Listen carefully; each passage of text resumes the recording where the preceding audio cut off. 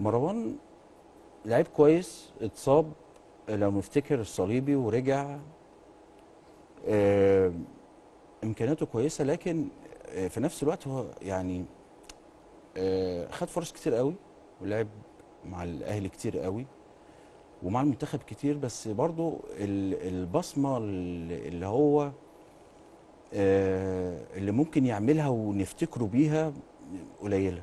لكن هو بيطلع دماغه كويس لكن برضو مم. يعني يعني مش لسه البصمة مش عارف يسيب بصمة نفتكرها كويس قوي هل هو هو ممكن يكون على رادار البادي ولا الأمور بعدت؟ من وجهة نظري بعيدة شوية مم. بعيد أولويات مين للبدري من وجهة نظرك؟ آه مصطفى طبعا مصطفى محمد وأعتقد آه دلوقتي أحمد حسن كوكا. دخل في الصورة برضو. ويعني أعتقد دول الفرودين الأساسيين يعني اللي هو آه انبوكس يعني. مم. آه بعدها ابص لأحمد ياسر ومحمد شريف وحسام حسن. طيب مفيش حد جه المنتخب غير ما جيب غاب أحمد حسن كوكا.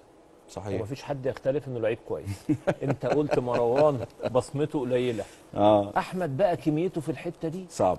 صعبة. إيه السر طب أنا هقول لك حاجة أنت فاكر آه، ميدو مم. ميدو كان بيبقى مكسر الدنيا بره في إنجلترا لو تفتكر طبعا يجي مع منتخب الناس تقول ما ينفعش مع منتخب مصر مم. لو تفتكر زمان يعني إحنا كنا مع بعض في المنتخب مم. بس طبعا آه، يعني ده كلام مش مظبوط يعني مم. لكن آه بره الكروسات كتير قوي آه وميدو في الحتة دي في في ال 18 مم. زي أحمد حسن في ال 18 زي مصطفى محمد في ال 18 مم. ف فاللعب بره بيختلف قوي انت مش مطالب آه ان انت تطلع بره الصندوق كتير كفيرود بره.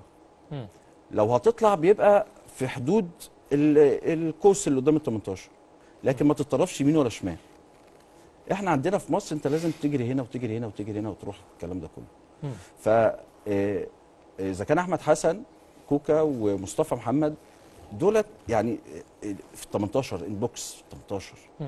ما يتطرفوش كتير. آه، فأحمد حسن مش محظوظ عندنا هنا مع إنه يعني إحنا شايفين تأثيره بره. مش كده؟ فرد كويس لكن برضه مش قادر ياخد برضه البصمة بتاعته زي زي مروان.